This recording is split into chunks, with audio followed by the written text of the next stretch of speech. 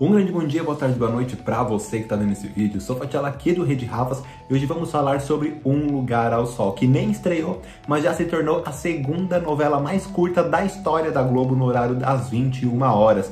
E o motivo para isso, gente, é completamente bizarro. Então quer saber qual é? Já sabe, né? Fica coladinho comigo que após a vinheta eu vou contar tudo para vocês.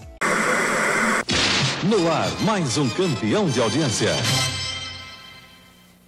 Primeiramente quero dizer que esse vídeo é mais um dos nossos encontros rapidinhos. Eu chego, jogo a bomba e puf, vou embora. Mas essa notícia não podia passar desapercebida aqui pelo canal. Dia 8 de novembro de 2021, a primeira novela da Alicia Manso no horário das 21 horas vai estrear. Um Lugar ao Sol, com Callum Raymond aí sendo protagonista interpretando os gêmeos. Mas acontece que a novela nem foi ao ar, nem começou a ser exibida e a cúpula da Globo já cortou 48 capítulos. De 155 capítulos previstos, gravados, a trama vai ser exibida em apenas 107 capítulos. Então, começa dia 8 de novembro de 2021 e se seguir essa ordem de 107 capítulos, vai acabar dia 11 de março de 2022. Ou seja, está servindo só de, de sala de espera para o remake de Pantanal, que é a grande aposta da emissora. Mas você pode estar se perguntando, Fatiello, por que, que eles estão fazendo isso? A resposta é muito simples. Na verdade, tem uma resposta e tem um boato que estão dizendo por aí que eu também super acredito e acho que seja válido. A notícia é que a novela foi encurtada porque a cúpula da Globo está temendo uma rejeição à trama. Eles acreditam que a novela não vai ser um sucesso, que a novela não vai agradar e que ela pode ser um fracasso,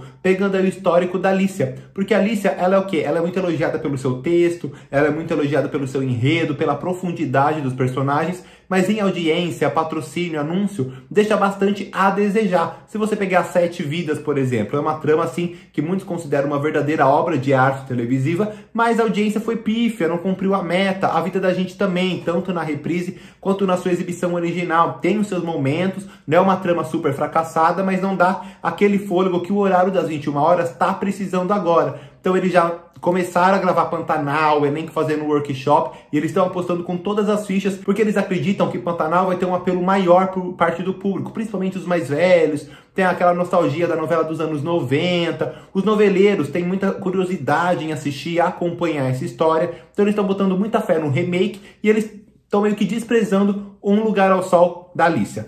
Particularmente eu acho isso uma sacanagem, uma falta de respeito com todo, todos os profissionais envolvidos, todo mundo que fez parte ali, não só atores, diretores, a própria autora. Imagina se escrever uma história, escrever uma novela de repente ver ela ser picotada desse jeito. Nem os maiores fracassos da Globo no horário das 21 horas sofreram esses cortes tão bruscos. Em Família e Babilônia, por exemplo. Ambas tiveram 143 capítulos exibidos. E Amor de Mãe, que teve o um momento da pausa, a pandemia, a regravação e, e todo esse quisuco que aconteceu no ano passado, foi exibida em 125 capítulos. Então Lícia aí foi premiada para estrear no horário nobre, já sofrendo esse baque muito forte. Mas acontece que eu entendo de certa forma. Vamos pegar, por exemplo, comparar uma novela super cult com uma novela farofa. Vocês acham que a Globo prefere o quê? Uma quem cultiva a semente do amor Segue em frente, não se apavora. Ou uma liberdade, liberdade, abre as asas sobre nós. É óbvio que a Globo prefere a dona do pedaço. A novela ai, foi muito criticada, texto raso e não sei o quê. Mas eles tinham tantos anunciantes, tantos patrocinadores,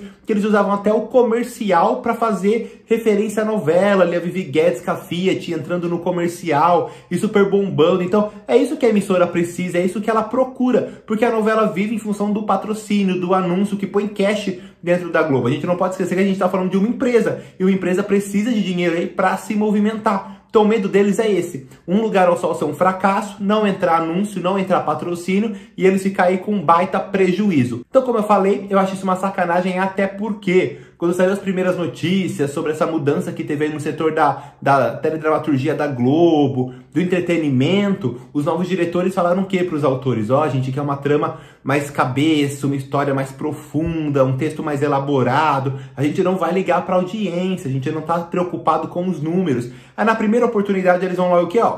Prova o contrário. É basicamente isso que acontece no mundo que a gente vive hoje, né? Faça o que eu falo, mas não faça o que eu faço. Então eles falaram uma coisa e na hora lá de pôr a mão na massa, a audiência, o número, a repercussão tá contando sim. Então é essa notícia que eu tinha para trazer hoje para vocês. E rolam as más línguas, né, os boatos que sempre acontecem em torno do mundo televisivo, que os novos diretores querem limar, acabar com tudo que foi aprovado pelo Silvio de Abreu, que eles não querem ver mais a produção aprovada pelo Silvio, que eles querem começar tudo do zero realmente, estarem envolvidos numa história realmente a partir do ponto inicial ali do comecinho. E Um Lugar a Sol foi aprovada pelo Silvio, já teve modificações pelo Silvio, depois veio a pandemia, veio a troca de, de profissionais no setor, ali no ramo da, da teledramaturgia da Globo, então eles querem limar um lugar ao sol. Não dá para deixar de exibir, porque a novela já está inteiramente gravada. Então o que, que eles fizeram? Encontraram um jeito de passar a tesoura. Outra coisa também que a gente pode levar em consideração é um exemplo de nos tempos do imperador. Quando a água bate ali na bunda, ó,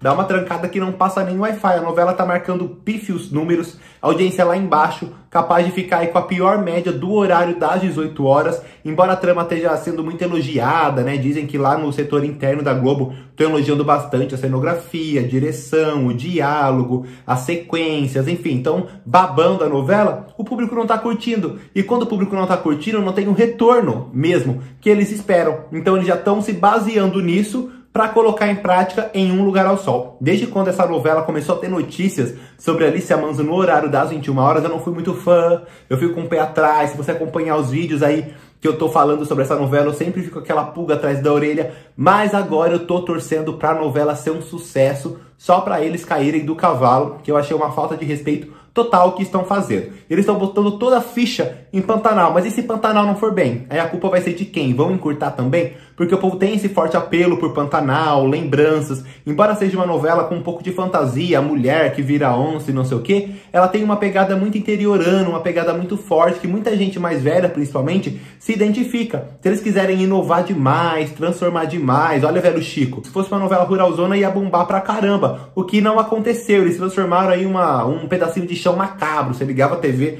uma coisa horrível de se ver. Então acho que Pantanal tem tudo para dar certo, mas também tem tudo para dar errado. Bom, agora eu quero saber o que vocês acham da Alicia Manso ter esse posto aí de só escrever novelas curtinhas. Lembrando que Sete Vidas teve 106 capítulos, A Vida da Gente teve 137 e agora Um Lugar ao Sol vai ter 107 capítulos. Comenta, acha que é uma boa ideia, que não é, que eles têm mesmo que se prevenir, que é uma falta de respeito. Lota gente aqui de comentário que o Rafa Pereira adora ficar lendo a opinião de vocês, engajando com vocês. Curta esse vídeo se ainda não fez isso, se inscreva no canal, ative as notificações, seja muito bem-vindo ao Rede Rafas. Eu agora vou ficando por aqui, mas eu quero saber, hein, o que vocês acharam sobre isso. Fui!